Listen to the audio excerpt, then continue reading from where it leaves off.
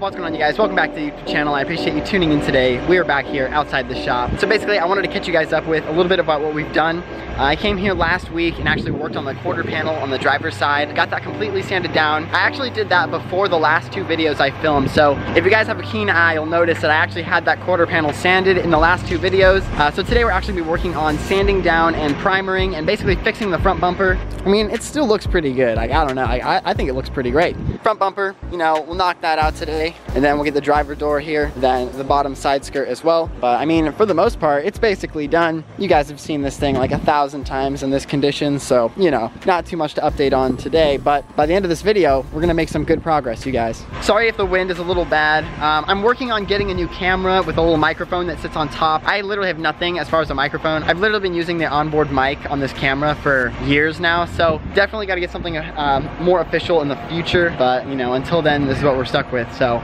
know, hopefully it's not too bad. Hopefully it's not too bad. But we're just waiting a few more minutes here. Uh, they're finishing up inside and then we're gonna pull the car in and get to work. So I'm super excited. This is one of the days where I'm gonna learn a lot because I don't really know what to do when it comes to like fixing a front bumper. Like I kinda know how to sand it down and stuff now, but as far as like actually fixing one, it's gonna be pretty cool to learn how to do it. So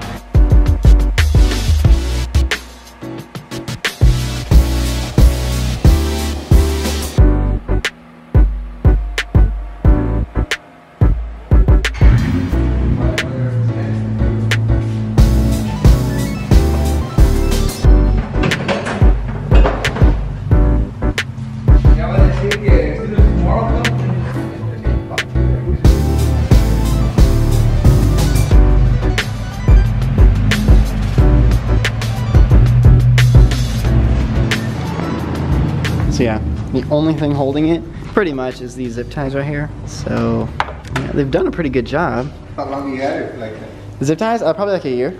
some good ass fucking zip ties right I know, man. right? You better advertise for those motherfuckers. No, it has seriously been like a year. This side doesn't look too bad. It's pretty, you know, a Z1 Motorsport skid plate under. I can't remember if it's actually attached. Uh, you've got the rivets on it.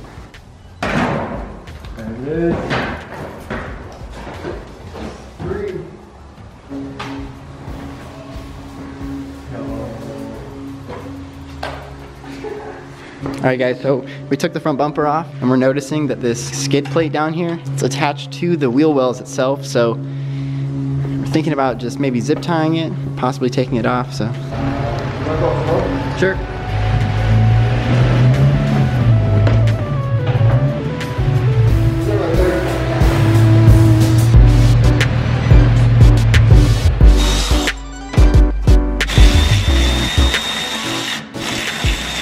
Right, you guys, so we took off the front bumper here and we're basically zip tying the uh, fender liners so they don't obviously like flap around and, you know, rip and break while we're driving around. This right here, this is the windshield wiper fluid. And as you can tell, see if I can get some focus, there we go. It's cracked right here. I think I just need to replace this thing, but I really don't use windshield wiper fluid very often. So it's kind of like the last thing on my priority list. I mean, look where they put it. You know, it's like if you get in a front end accident, that's the first thing going. Like, I'm sorry.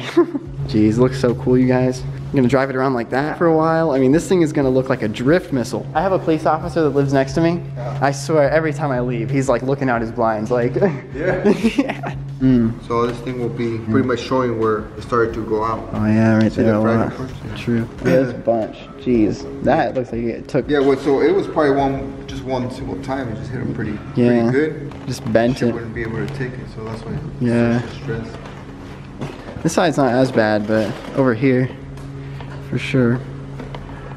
the next day. All right, guys, it is the next day. Ended up leaving the shop yesterday once we took the front bumper off. Um, but we're here today, we're backed in. I just wanted to show you guys what the car looks like with no front bumper on it. It looks pretty awesome, I can't lie. Uh, check this out. Check it out. It looks like we're gonna go drifting. The only thing we're missing is an angle kit. I was looking online for new wheel wells because the wind was blowing against this one and I was actually melting it against the tire. So as you can see, it's pretty much destroyed at this point. But um, luckily, these are only like $10 a piece for each tire. So um, I'm gonna get two new front ones probably because even Efren said once we paint the entire car, the last thing we're gonna wanna do is put those old wheel wells on there. So the back wheels back here actually don't have any fender liners. So I'm assuming it's just because the car, the car just sits too low, like they would rub no matter what. So I don't know if I'll order rear ones, but yeah, I just don't think they're gonna fit. So definitely go ahead with the front ones. And geez, I just think this thing looks so crazy with no front bumper. it makes me want to buy another Z just so we can have the front bumper off of it all the time and then just strictly drift it because I think that would look pretty awesome. Hey.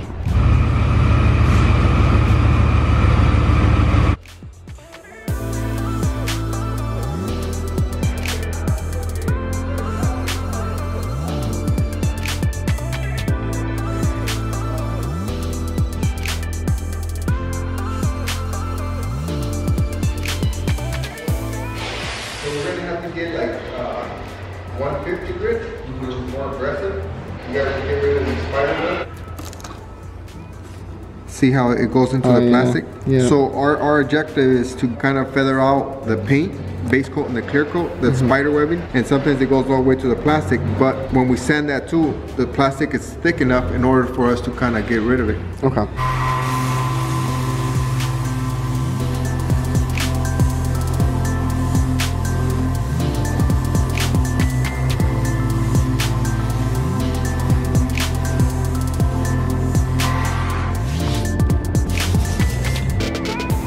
See that now? Yeah. I went to the plastic, but then you don't see those spider webs anymore. Okay, I see. See how you see the spider webs in the base? Yeah. I mean on the clear coat, the base coat which is the red, Mm-hmm. and then the primer, and then you get to the plastic. Okay, it's gone. So now it's gone. All right. So if we would have been with 320, we would have been there just going going at it, yeah. And when you do that, you create like uh, indentations on, Okay. the, on the plastics. So that just kind of This one kind of gets rid of it a lot faster than if we were uh, Yeah. 320. Okay. All right, so you guys kind of heard what Ephraim was saying. We're basically gonna take 150 grit sandpaper and just go at all these pretty gnarly scratches and just see if we can get them all to disappear. And yeah, this side's not as bad, so.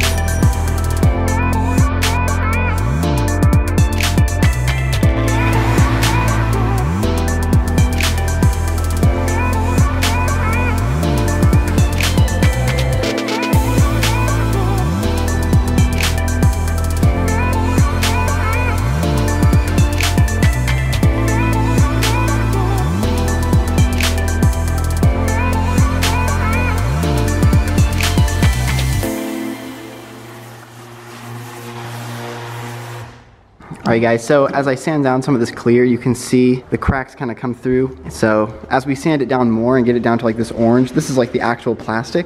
And so the nice thing about the scratches, they don't actually go that deep. So got most of them actually on this side. So you can see we have some like rippling. So I'm basically going through and trying to smooth it. So we don't have to put much uh, Bondo in. I think we'll be able to do it.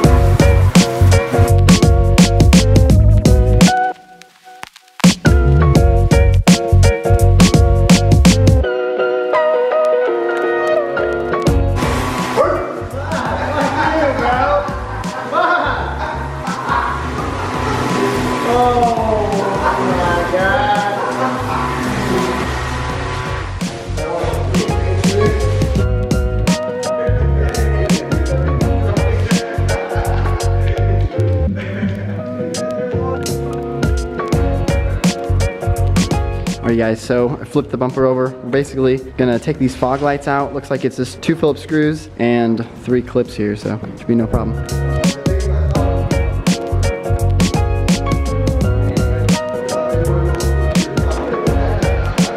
It looks so bare with no front lip, which is kind of crazy. But um, I also took out the reflectors. They're right over there. And, you know, for some reason, I always thought those lit up, but they don't actually. There's no electricity to them. So, but basically gonna take the DA and hit the rest of it. Just get all these little scratches and stuff out. Be good to go. Shoot it with primer.